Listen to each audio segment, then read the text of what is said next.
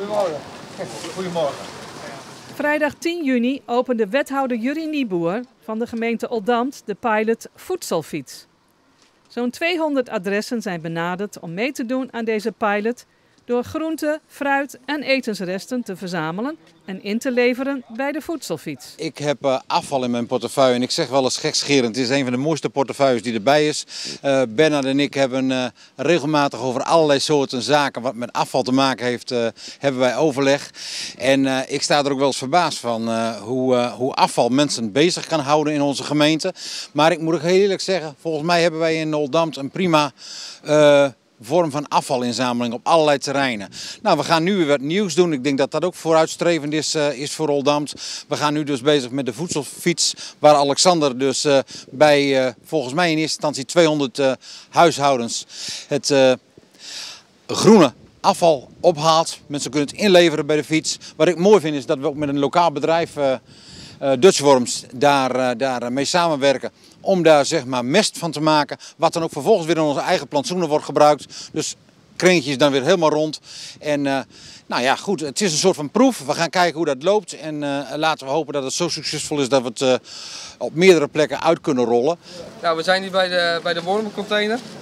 Dus, we hebben een, de gemeente heeft ons benaderd om voor, uh, om het GFT-afval eigenlijk te verduurzamen. En dat kunnen we doen uh, met deze wormencontainer. Ik zal een beetje uitleggen hoe die werkt. Kan iedereen het horen? Kom er maar bij hoor. Ga er praten.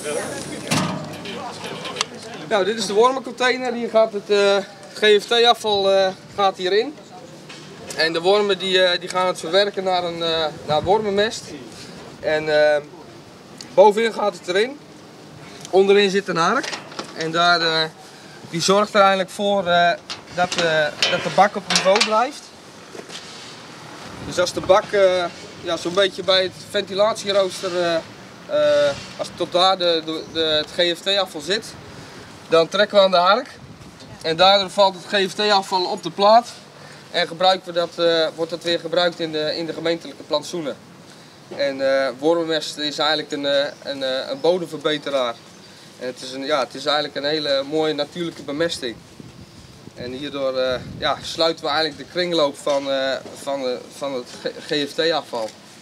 En dat is, ja, is gewoon een stukje verduurzaming wat, wat we zo met de gemeente en, en Dutch Worms kunnen doen. De bedenker van de voedselfiets, hoe is dit tot stand gekomen? Nou, we lopen heel lang te denken, we zouden eigenlijk eens moeten met het groenafval van bewoners en onze hoogbouw, de flatgebouwen. Mm, en je zou een verzamelcontainer ergens kunnen plaatsen, maar in andere gemeenten blijkt dat wordt heel vaak uh, gaat ruiken, uh, komt heel veel vervuiling in, enzovoort, enzovoort. Ik kwam via onze bedrijfscontactfunctionaris in contact met uh, Worm Systems in Oostwold, hier ook in de gemeente. En ik hoorde van het project Hengelo. Daar draait al een poosje een project voedselfiets. Uh, wel op een iets andere manier. Dus daar is ook geen verwerking met wormen. En iets andere frequentie, iets groter gebied.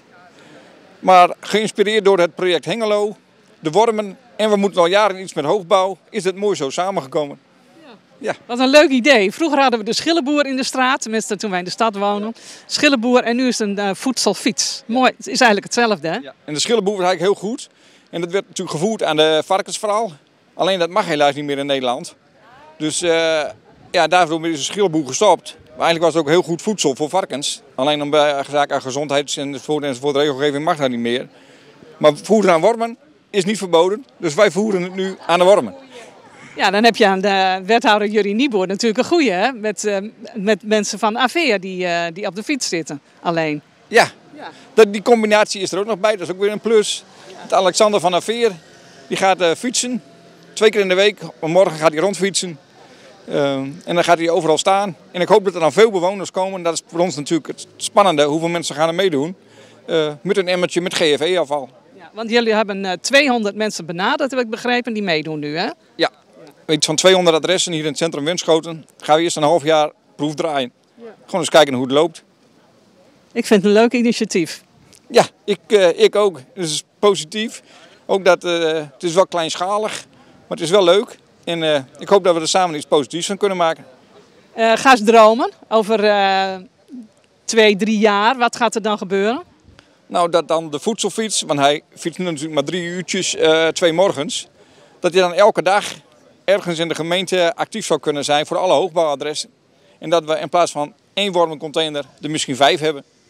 Ik zou het zo leuk vinden om mijn groene container uh, in te ruilen. En dat er dan een, uh, ja ik weet wel, groen afval is uh, veel als je een tuin hebt. Maar dat je dat ook zou kunnen gebruiken. Maar dat kan ook.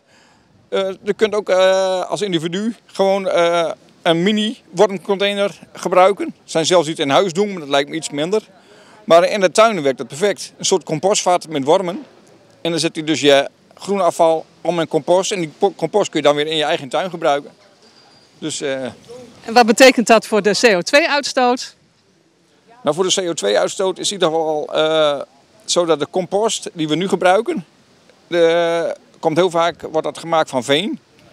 Nou, dat is heel slecht voor de CO2-uitstoot. We hebben nu heel weinig, uh, omdat er een fiets gebruikt wordt en het ook weer regionaal wordt toegepast, heb je ook natuurlijk heel weinig CO2-uitstoot.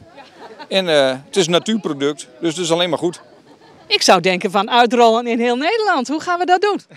Nou, veel, het is vandaag al heel veel pers, dus uh, we hopen op veel promotie. En laten zien dat het hier goed gaat. En als het hier goed gaat, krijgt er vast en zeker navolging. Daar ben ik van overtuigd. Waarom zijn wormen zo belangrijk voor ons? worm die kan van je eigen uh, GFT-compost, wat je dus in de keuken hebt, heel mooi, uh, een mooi, mooi wormmest maken. Nu gebruiken we, kopen we een zak turf in, uh, in, in het tuincentrum. Daar is heel veel vooraf gegaan. Um, veenturf, is veen. dat is een fossiele brandstof, die raakt op. En daar kunnen we heel iets moois van maken door inderdaad um, met wormen uh, met behulp van wormen een, een, een mooie potgrond te maken. Nu hebben, breng je je groencontainer als straat. En waarom? Om inderdaad uh, er vanaf te raken. En daar is een composteerbedrijf bij, daar is een vrachtwagen bij om dat op te halen. Dat is en op een gegeven moment komt dat dan weer terug in de, in de, in de, in de tuinbouw. En um, de, daar wordt dan die turf weer voor gemaakt. Dus, uh, We moeten gewoon uh, zelf aan de gang, begrijp ik. Ja, dat kan ja. ja, heel veel makkelijker. Heel veel beter. En ook nog financieel. Ja, precies. Dat snap ik. Uh, maar goed, dit is een heel mooi project dus. Jij, jij lacht dat wel toe. Hè? Dat we allemaal zo'n in de buurt zo'n container krijgen waar we ons spul in kunnen gooien. Ja, zeker, absoluut. En als je gaat een beetje groter, eh, dit is allemaal voor bovenbouw, dus alles flatgebouwen. We hebben zo deze container ontwikkeld. Maar je kan ook inderdaad, ehm, als je gewoon een normaal huis hebt met een tuin, dan een, een, een kleinere kopen. En dan heb je daar, eh, maak je daar je eigen potgrond mee van. Dat is de toekomst. Dat is zeker de toekomst, absoluut. Dat hebben we hard nodig. Er is nog wat praktische informatie. Um, kunnen, wormen kunnen heel veel eten, maar het uh, vlees kan er uh, niet in. En dat, uh, dat wou ik nog even benadrukken, want we zitten nu in de zomermaanden. En als, er, als er te veel vlees in komt, dan kunnen we ja, kan je dus ongedierte erin krijgen. En dat, dat willen we uiteraard liever niet. En zoals u als je hier ziet, kijk dit is eigenlijk het mooiste dat het wat fijn erin komt. bijvoorbeeld dat de planten niet, niet heel erin worden gegooid. Dat is wel even goed om dat uh, te benadrukken. Kijk, het is niet zo dat, uh, dat, de, dat de wormen wegkruipen of er van dood gaan. Maar het is voor het proces is het beter dat het, ja, dat wat fijner erin komt en geen vlees. Oh.